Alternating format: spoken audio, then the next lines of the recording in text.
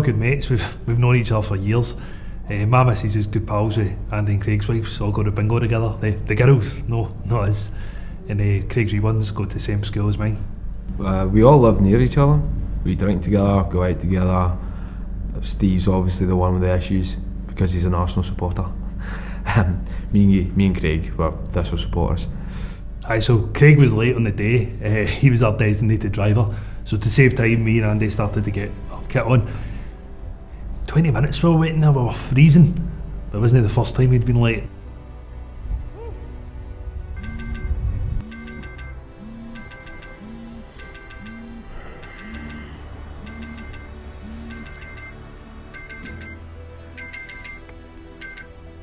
Oh, Bloody hell!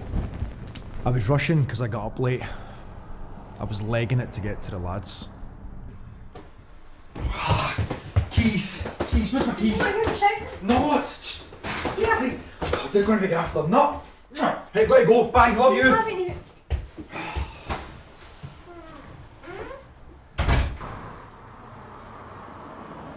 Myself, Steve, and Craig were all self employed. Hi, Ray, what time did you call this? Sorry, lads. Yeah, I was clean shaven when I got up this morning. Uh, we're working for a civil engineering, structural repair, and refurbishment subcontractor. Uh, we got there at 8.25. We should have got there at 8. Hurry up! We're in a serious rush to get our acts together to get on site. Craig, hurry up. We're late because of you, mate.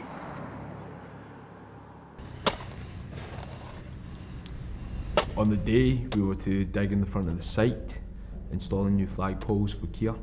We were to dig within the site boundary, uh, next to the vehicle access gate, which binds the high street. We were to dig on the east side of the gate first. We started digging, but there was this one particular hole that caused us a bit of trouble, but it was easy enough to begin with because the ground was so soft. On! You struggling? Forward!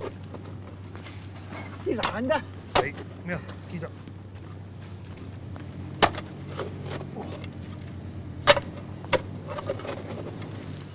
Yeah, move, yeah, move, keep up. Alright.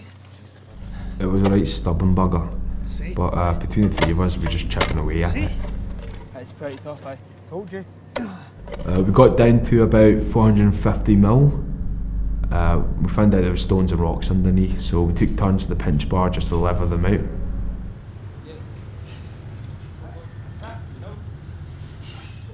Craig used a orange insulated shovel. It wasn't a Kier one, but it was just your basic subcontractor's one. So we had to hand it at the time. So then Craig started to remove the excavated earth with the double shovel. The only problem was the soil just kept falling back in. It's not really doing much, mate.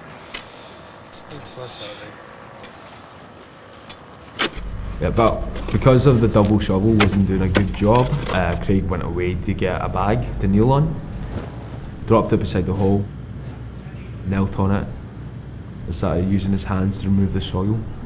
He then went back to the insulated shovel just to get more depth, but the ground, the ground was getting harder, so he was struggling.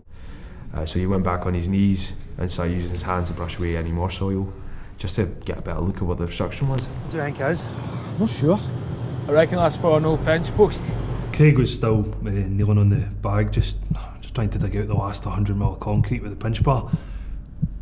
I was stood behind him and Andy was just stood in front, looking, looking straight at him. Craig put in a dig and, and suddenly, that's when all hell broke loose. None of us knew there was an 11 kVA cable under there.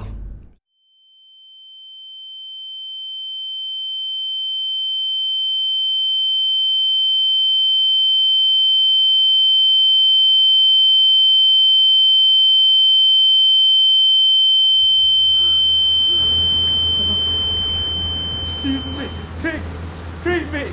Steve. When you see something like that, you just feel a bit helpless. I just, I, I don't know what happened. It was just, it was just a bang and then a flash, and Craig was there and Steve. I, don't- I don't know. I don't know what to do. I just, I, I ran to Kier's um, first aider, Claire. And She was, she was brilliant, just reassuring him like it's going to be okay, everything's fine, because he was in some state. We all were. She got a, a cleaner uh, to get a, like a wet cloth and hold it on his face, and oh, the screams from him, and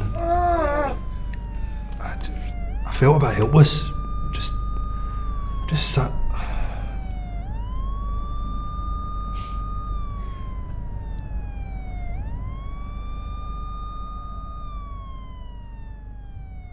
When I walked in and saw him lying in that hospital bed, my heart went through my mouth.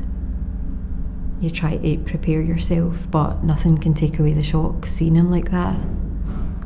The burns on that heart monitor, I thought the worst. When they were transferring him to the specialist burns unit, I didn't know what was going to happen. My head was imagining all kinds of things. I wondered whether this was it. Was the kids ever going to see their dad again? Was I? I've got him back, and that's all I care about. I never want to go through that again.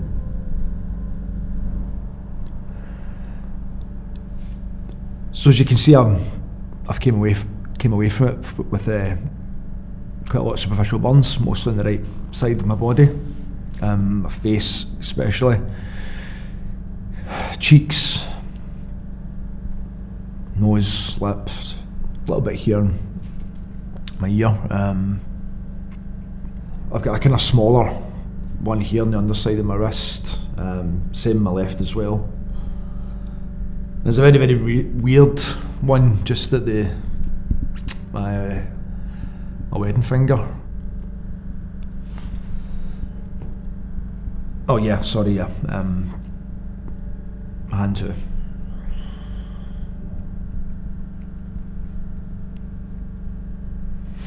Yeah, I'm lucky to be alive. Um, doctor said it could have been a lot worse.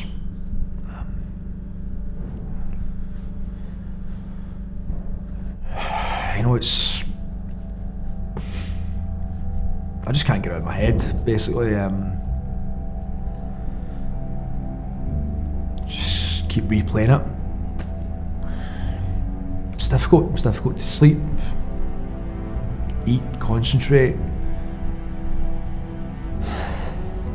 There are moments I can, but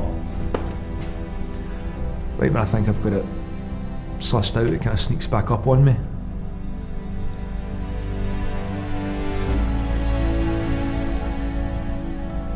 I'm lucky to be alive. I mean, I, I know that. Just the, the thought of not being able to see my wife and kids again, it's.